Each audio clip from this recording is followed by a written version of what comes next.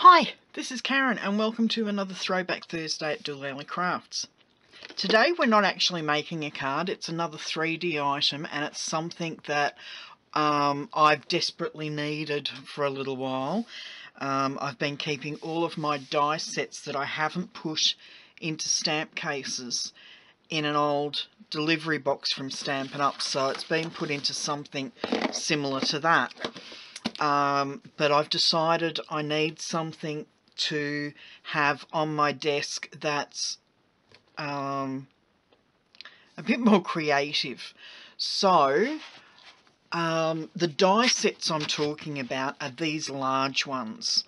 Um, these die sets are usually too big to fit in with the stamps unless you buy a separate stamp a, a separate a separate stamp case.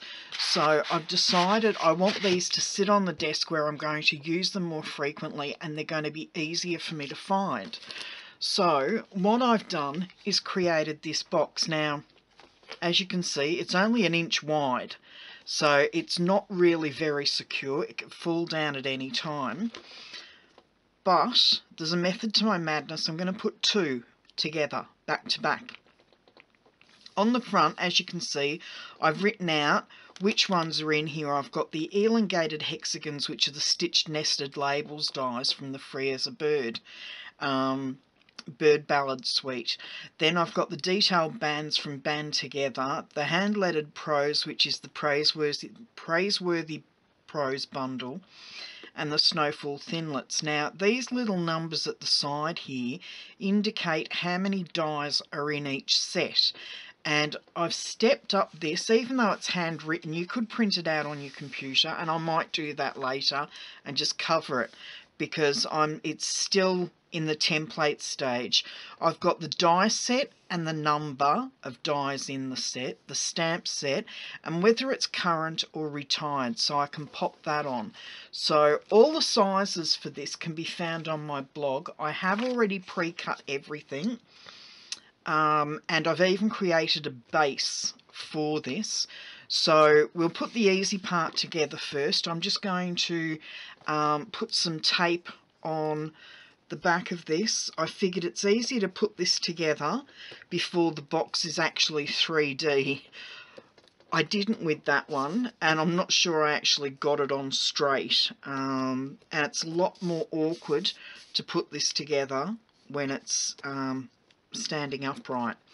So we'll just give each piece of the double-sided tape a burnish and then take the backing off. Now I'm popping this to the lower half of the decorative paper and the reason this is a throwback Thursday is because I'm using old stock that is no longer current. So this is from the Textures Impressions I think it was called um, paper set uh, I really like this set, but I didn't get a chance to use much of it, and it's using all of it's using a few colours that are no longer current. The retired um, 2017-2019 colours uh, have gone, so that's why I'm using this one, which is Tranquil Tide. I even had to turn around and have a look at the list so that I knew which colour I was using. So yeah, this is the Tranquil Tide. And there's Tranquil Tide in this as well as Mint Macaron. So I'm actually using this Mint Macaron ribbon towards the end here. Okay, so we've got our piece of cardstock. As I said, all the measurements can be found on my blog, so you don't need to write them down. This is actually a sheet of 12 inch by 9 inch cardstock that I've trimmed. It was a 12 by 12 that I've trimmed down to 12 by 9. Now I'm going to bring my score board in and what you need to do on the 12 inch side you score it at 6 inches and at 7 inches. Turn it round and so you've got the 9 inch side and you just score it at 1 inch and at 8 inches. Very simple scores, just the four scores. And then Sorry about that. I don't know. I've got some messages coming through on my phone. Sorry about that. Okay, and what we're going to do is fold and burnish on each of the score lines.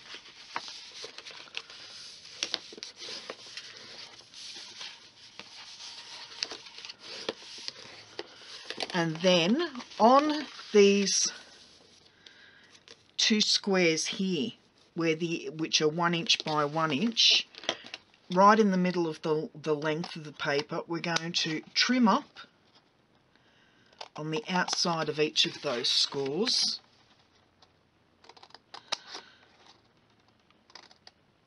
Like so.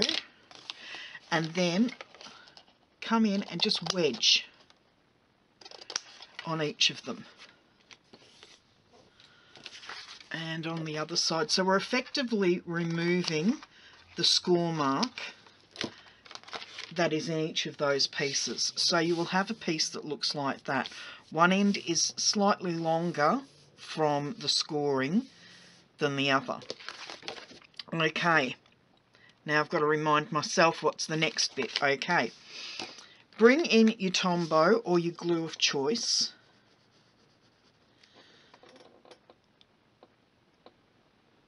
And I've just put that on the wrong spot.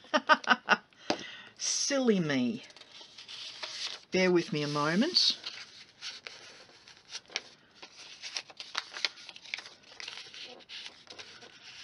Right. Thankfully, the Tombow can just rub off it's on the inside of the box, so it really won't make a difference. Nothing particular is going to stick to it. So we'll flip it over and we'll do it the right way. Okay, so what I want to do is just put glue on the two bottom pieces, or the two pieces closest to the fold. And then I'm going to bring that up and sit it flat so that I know I've got that side sitting at a 90 degree angle.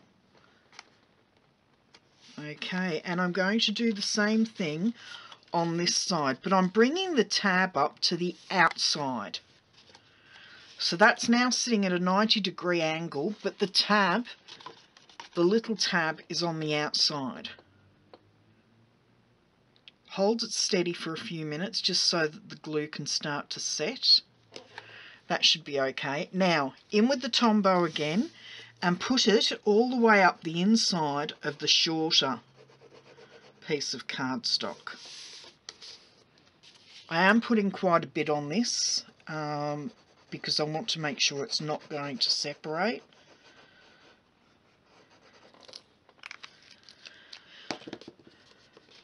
Okay, I know my mum's going to be sitting there watching this saying, Karen, why have you put so much glue on there?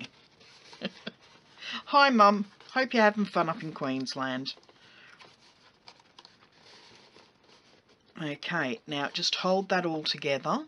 Now, because I've put the tab, the small tab, on the inside between these two folds, it's not got nothing is going to um, hit them on the inside of the box. So when you slide your um, die cases in they're not going to get jammed on either side and then knock the box all over the place. That's the reason for hiding them between the two side folds. And now I'm just going to trim that off there and that off there on the dia on the diagonal and our box is almost finished. Okay, bring in, and I should have put this on there first, but never mind.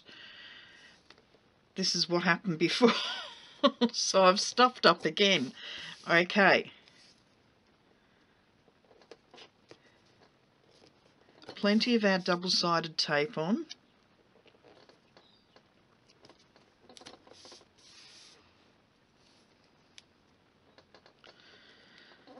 Okay. Burnish again with a bone folder. Like that. And then peel off the tape.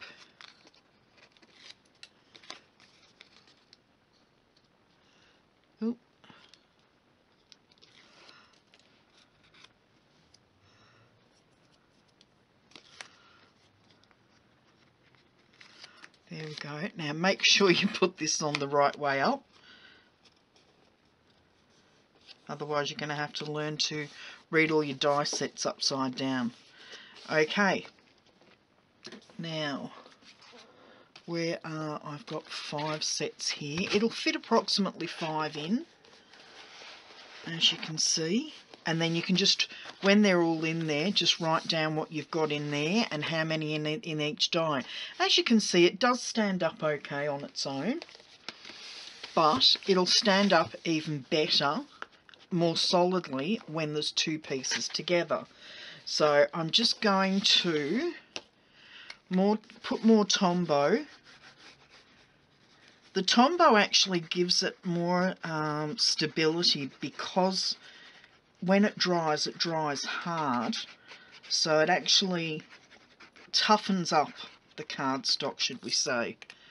Okay, so I just pop that aside. I'll have to leave it upside down because I'm going to use it again in a minute. So we bring our two pieces, or our two sections up, back to back, and then squish them together like so. And it does work better if you've already got your die sets in because it gives you something to squeeze, a bit more force, and they are going to stay together quite well. Now, I'm just going to move them aside because I actually created a base for them earlier and that will give it a little bit more stability again to stand up once it's all glued down. So I'll move that to the side for a moment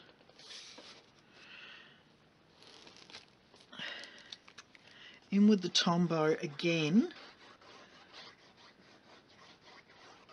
Lots and lots of Tombow. Now, yes, I know it might have been easier to take the um, the sets out, but I don't mind them being in there. Okay, and we're just going to bring that up. It's about even there. And the weight of the die set will actually force that down onto the cardstock stand. Now, for a little bit more stability, I'm going to bring in my ribbon. I did cut a fair bit off. I didn't need to cut so much. So I'm just going to bring that in while it's standing there.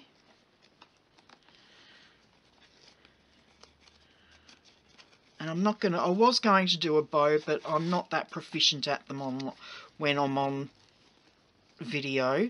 So there we go.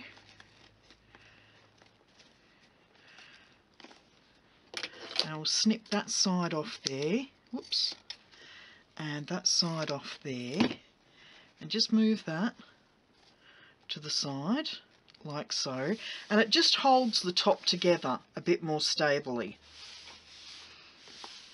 So there you go. That's not going to go anywhere. It's got room for at least another um, larger set and it can just sit there and I can tell at a glance what I've got in that side and I will be able to, when I've filled it out, tell what's on that side. Yeah, I just realised it's going to be a bit awkward writing on there, but never mind, we'll manage it. Even if I stick a, a stamp case or two down, I should be able to, see there we go, that's fine, I'll be able to write on that. See, where there's a will, there's a way. anyway, I hope you liked today's project and you will give it a go. As I said, all the measurements can be found on my blog. I might even print out a template for the very front that you can print off. Um, I'll save it as a PDF so that it's on the website for you. Okay, that's enough from me for today, and I will see you again on Sunday. Bye-bye.